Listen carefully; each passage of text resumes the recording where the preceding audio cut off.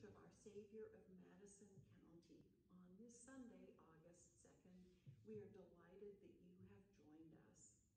We will begin with our prelude music.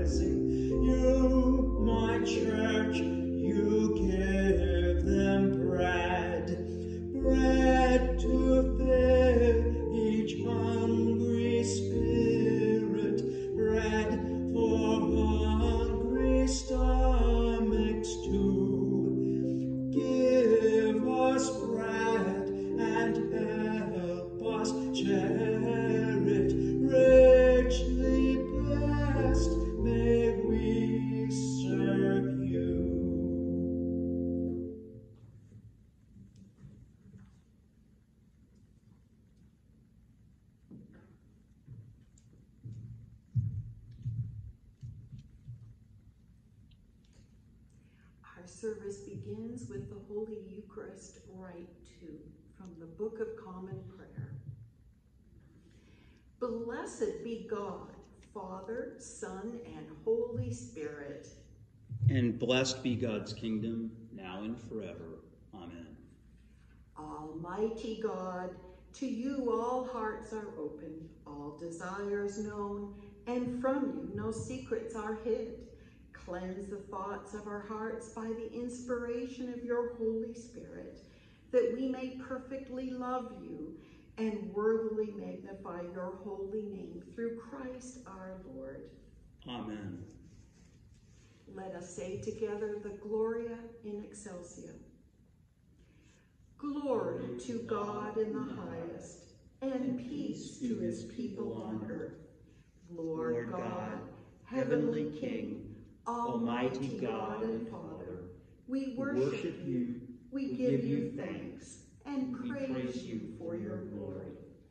Lord Jesus Christ, only Son of the Father, Lord God, Lamb of God, you take away the sin of the world. Have mercy on us. You are seated at the right hand of the Father. Receive our prayer. For you alone are the Holy One. You alone are the Lord. You alone are the Most High, Jesus Christ, with the Holy Spirit, in the glory of God the Father. Amen. The Lord be with you. And also with you. Let us pray. Let your continual mercy, O God, cleanse and defend your church, and because it cannot, in safety, continue without your help, protect and govern it always by your goodness through Jesus Christ our Lord, who lives and reigns with you in the Holy Spirit, one God, forever and ever. Amen. Amen. And now for a reading of our lessons.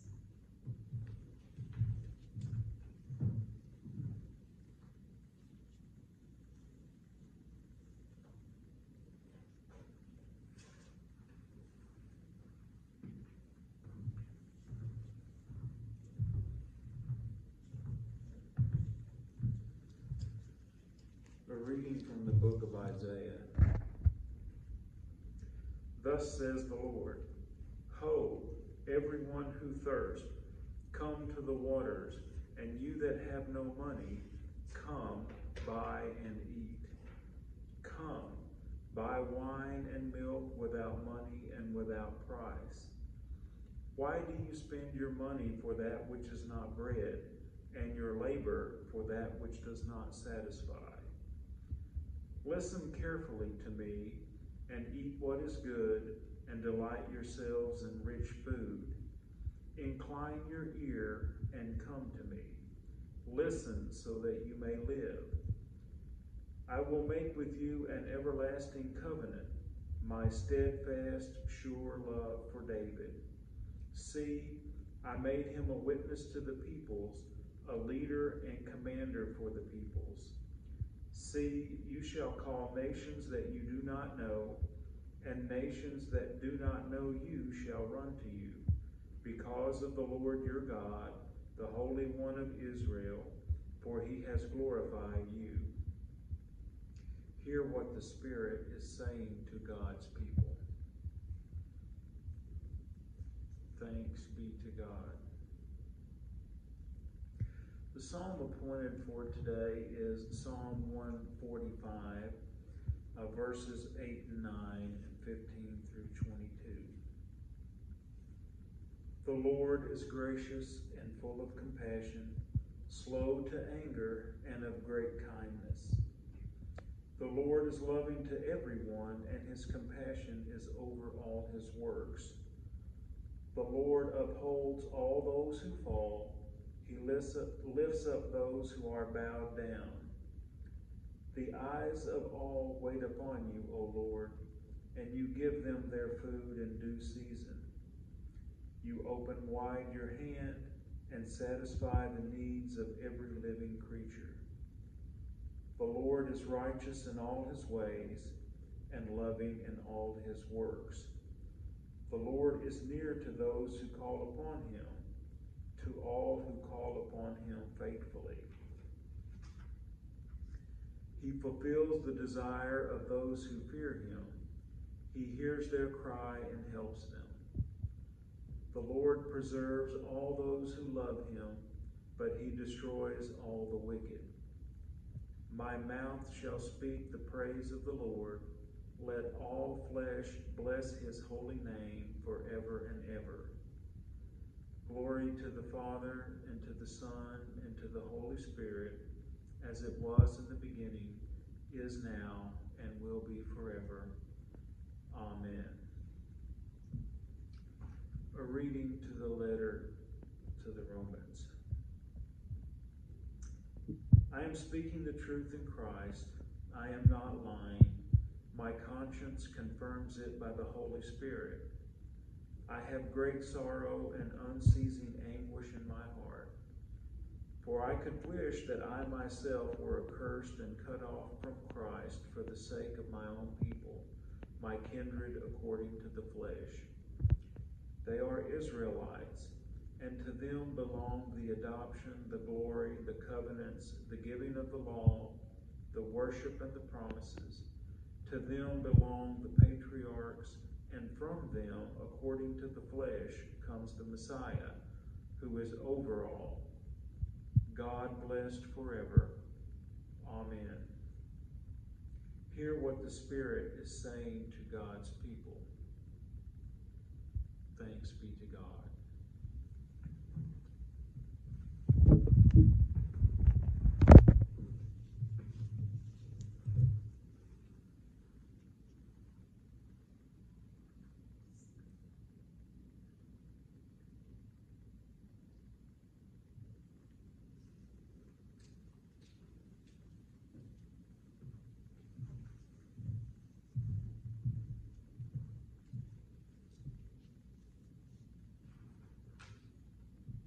The Holy Gospel of our Savior Jesus Christ according to Matthew.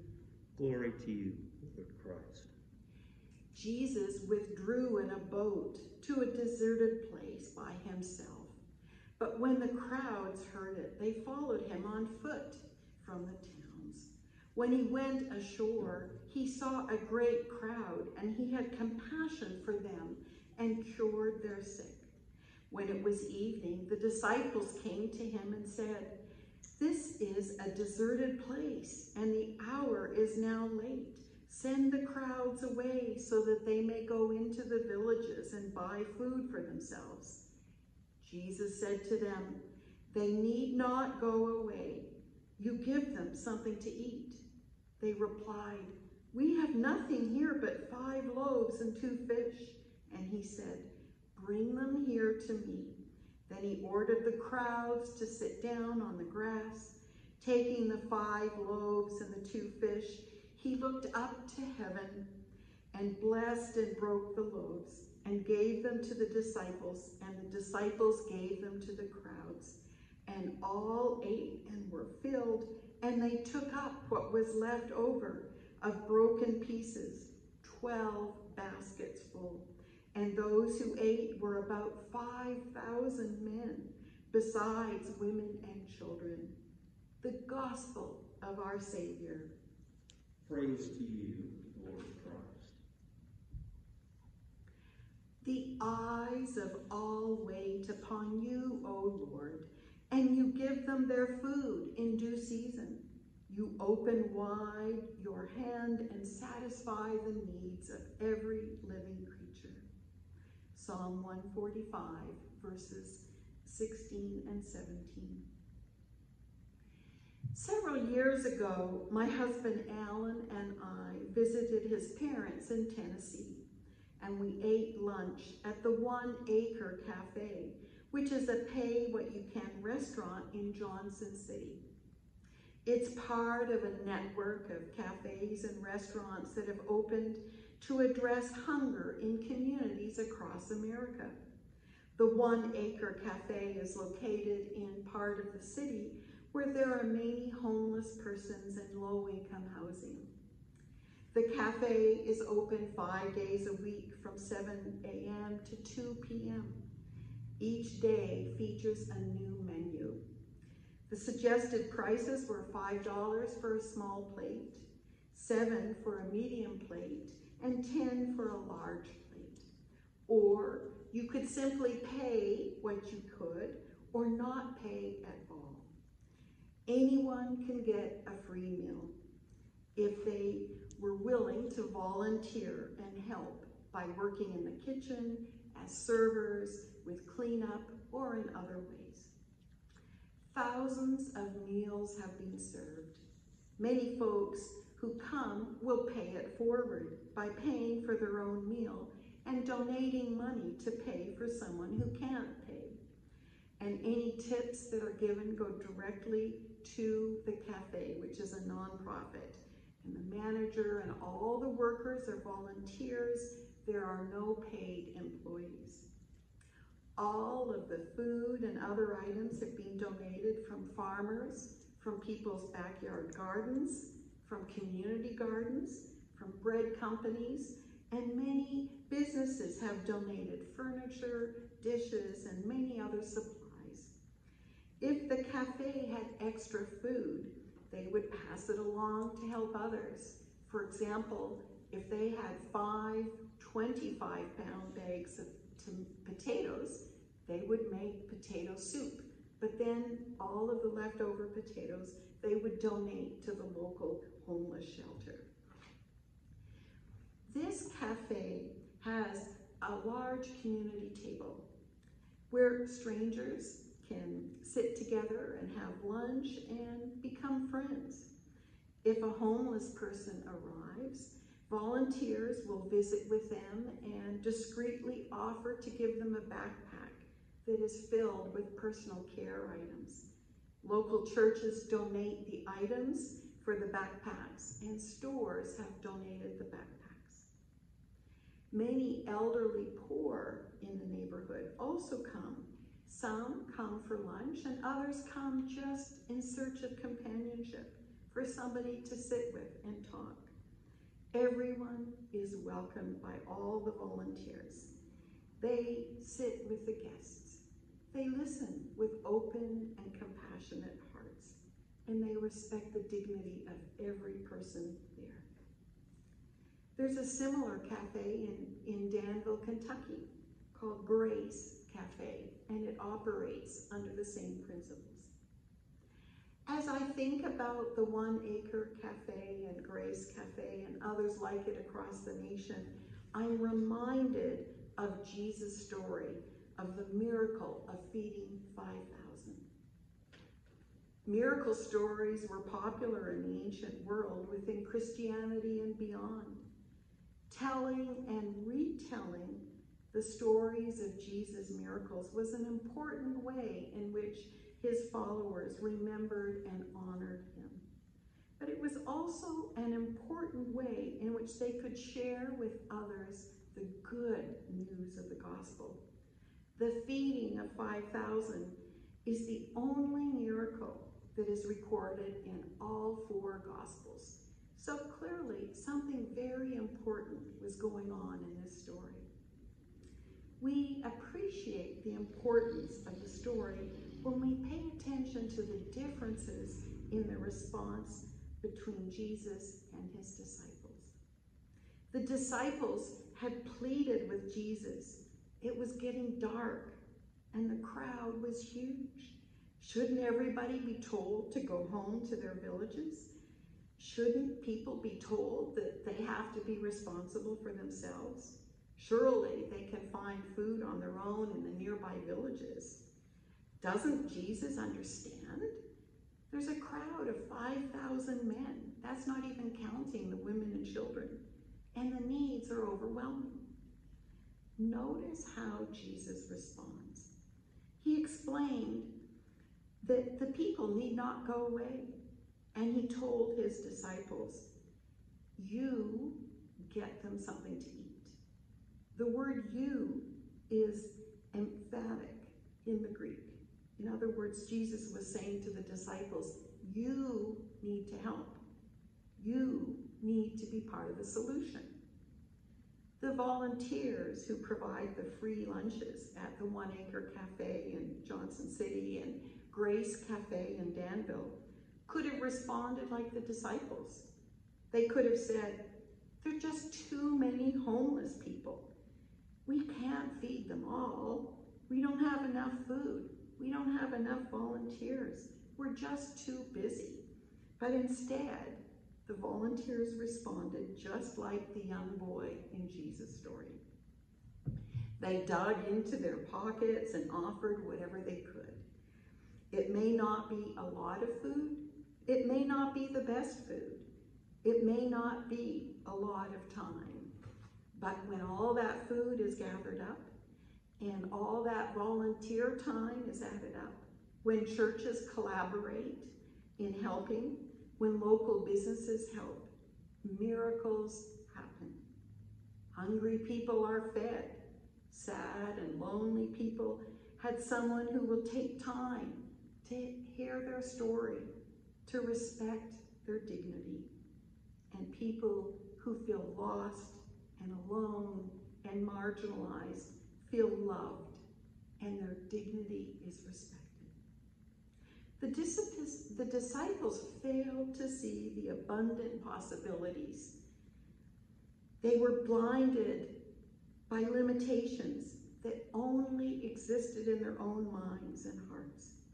We can sense their fear and uncertainty when they pleaded with Jesus, saying, We have nothing here but five loaves and two fish. The disciples focused on what they didn't have rather than on what they did have. Because they were fixated on limitations, they fail to imagine the possibilities. In our current environment with the COVID pandemic and the steadily increasing number of people losing their jobs and the risk of being evicted and becoming homeless, hunger in our community will continue to grow. The ministry of our Garden for the Hungry in our parish could not be more important as we are able to donate fresh, nutritious vegetables to the food pantries in Richmond and Berea and to food ministries at St. Thomas Lutheran Church and St. Philip's AME Church in Richmond. Our members are also providing free lunches for homeless persons in downtown Richmond one day a week. Other churches and faith communities are providing lunches for the other six days of the week. The combined generosity and volunteer time of all of these people are ensuring that people will not be hungry in our community. Our church has received a grant that will allow us to continue to provide food to homeless and hungry persons in our community. The lessons that we learned from Jesus' story of the feeding of the 5,000 and the examples of the incredible food ministries of dedicated Christians and others in our community and communities across our nation demonstrate that miracles can happen. When we work together with others, with God's help, miracles happen. Lives are transformed. Grace happens. When we're gripped by fear of scarcity, we'll be wise to remember today's gospel. When we're feeling overwhelmed by the needs of so many others, we'll be wise to remember that God knows no limitation. The economy of the kingdom of God is abundant and knows no scarcity. God can and will always work with our humble offerings. Let us pray. Holy and gracious God, expand our minds and hearts that we, may respond to the needs of others with abundant generosity, compassion, and love in order that we may meet the needs of others and that they may know your steadfast love and mercy and no one is left hungry and alone in your kingdom. Amen.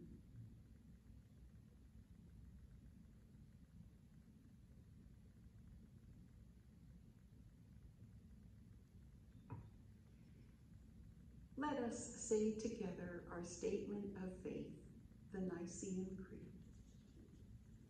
We believe in one God, the Father, the Almighty, maker of heaven and earth, of all that is and unseen.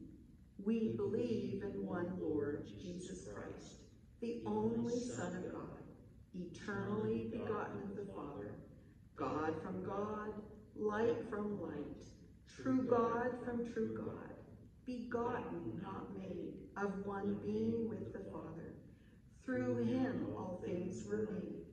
For us and for our salvation, he came down from heaven. By the power of the Holy Spirit, he became incarnate from the Virgin Mary and was made man. For our sake, he was crucified under Pontius Pilate. He suffered death and was buried. On the third day, he rose again in accordance with the scriptures. He ascended into heaven and is seated at the right hand of the Father. He will come again in glory to judge the living and the dead, and his kingdom will have no end. We believe in the Holy Spirit, the Lord, the giver of life, who proceeds from the Father and the Son. With the Father and the Son, he is worshipped and glorified. He has spoken through the prophets. We believe in the one holy, Catholic, and apostolic church. We acknowledge one baptism for the forgiveness of sins. We look for the resurrection of the dead and the life of the world to come. Amen. And now for our prayers of the people.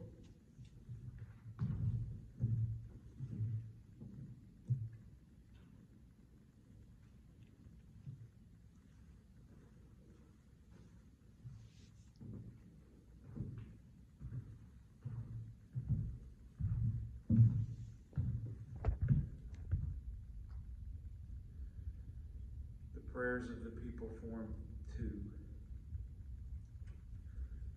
I ask your prayers for God's people throughout the world, for our bishops, Michael and Mark, for this gathering, and for all ministers and people. Pray for the church. I ask your prayers for peace, for goodwill among nations, and for the well-being of all people. Pray for justice and peace.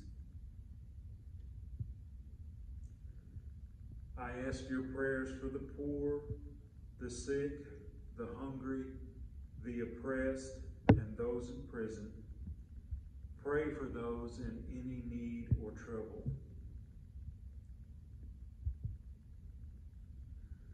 I ask your prayers for all who seek God or a deeper knowledge of Him.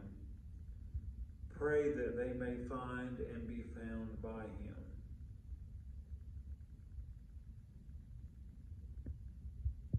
I ask your prayers for the departed. Pray for those who have died. Please offer your own prayers and of intercession and thanksgiving.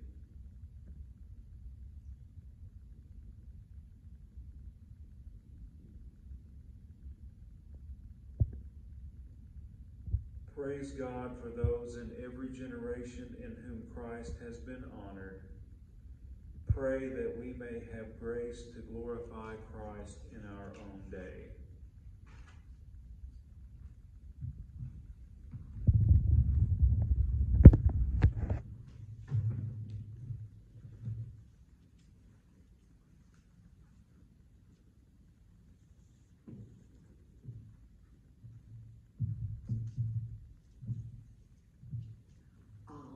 Almighty and eternal God, ruler of all things in heaven and earth, mercifully accept the prayers of your people and strengthen us to do your will through Jesus Christ our Lord. Amen. Let us confess our sins against God and our neighbor. Most merciful God, we confess that we have sinned against you in thought, word, and deed, by what we have done and by what we have left undone. We have not loved you with our whole heart. We have not loved our neighbors as ourselves. We are truly sorry and we humbly repent. For the sake of your Son, Jesus Christ, have mercy on us and forgive us, that we may delight in your will and walk in your ways to the glory of your name. Amen.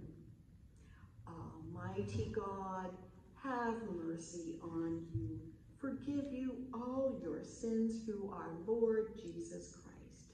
Strengthen you in all goodness, and by the power of the Holy Spirit, keep you in eternal life. Amen. Amen.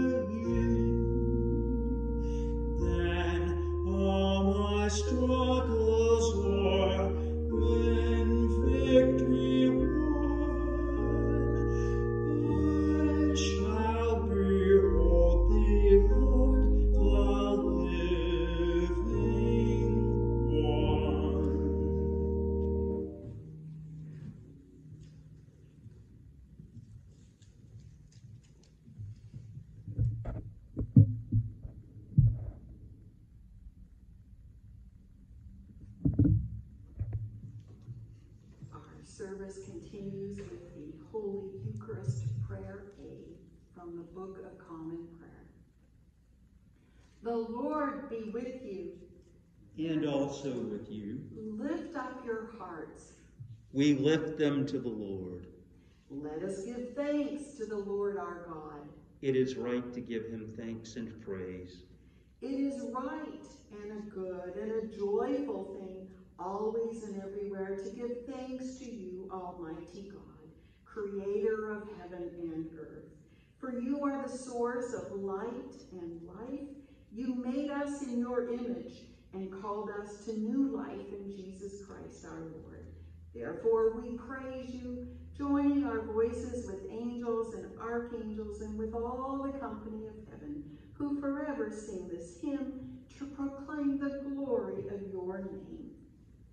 Holy, holy, Holy Lord, God of power and might, heaven and earth are full of your glory. Hosanna in the highest. Blessed is he who comes in the name of the Lord. Hosanna in the highest. Holy and gracious God, in your infinite love, you made us for yourself. And when we've fallen into sin and become subject to evil and death, you, in your mercy, sent Jesus Christ, your only and eternal Son, to share our human nature, to live and die as one of us, to reconcile us to you, the God and maker of all. Jesus stretched out his arms upon the cross and offered himself in obedience to your will, a perfect sacrifice for the whole world. On the night he was handed over to suffering and death, our Savior, Jesus Christ, took bread, and when he had given thanks to you, he broke it and gave it to his disciples and said, Take, eat. This is my body, which is given for you. Do this for the remembrance of me. After supper, he took the cup of wine, and when he had given thanks, he gave it to them and said, Drink this, all of you. This is my blood of the new covenant, which is shed for you and for many for the forgiveness of sins. Whenever you drink it, do this for the remembrance of me. Therefore, we proclaim the mystery of faith. Christ has died. Christ is risen. Christ will come again. We celebrate the memorial of our redemption, Almighty God, in the sacrifice of praise and thanksgiving, recalling Christ's death, resurrection, and ascension. We offer you these gifts. Sanctify them by the Holy Spirit to be for your people the body and blood of your Son, the holy food and drink of new and unending life in Christ. Sanctify us also, that we may faithfully receive this holy sacrament and serve you in unity, constancy, and peace, and at the last day bring us with all your saints into the joy of your eternal kingdom. All this we ask through Jesus Christ, our Savior, by Christ, and with Christ, and in Christ, in the unity of the Holy Spirit, all honor and glory is yours, Almighty God, now and forever. Amen. And now, as our Savior Christ has taught us, we are bold to say, Our Father, who art in heaven, hallowed be thy name. Thy kingdom come, thy will be done, on earth as it is in heaven. Give us this day our daily bread, and forgive us our trespasses, as we forgive those who trespass against us. And lead us not into temptation, and deliver us from evil.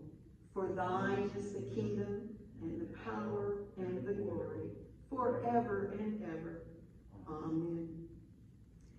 And now, when we are unable to receive the Holy Sacrament in person, we pray. In union, O Lord, with your faithful people at every altar of your church, where the Holy Eucharist is now being celebrated, I desire to offer you praise and thanksgiving. I remember your death, Lord Christ, proclaim your resurrection, and await your coming in glory. And since I cannot receive you today in the sacrament of your body and blood, I beseech you to come spiritually into my heart. Cleanse and strengthen me with your grace. May I live in you and you in me in this life and the life to come. Amen. Let us pray together.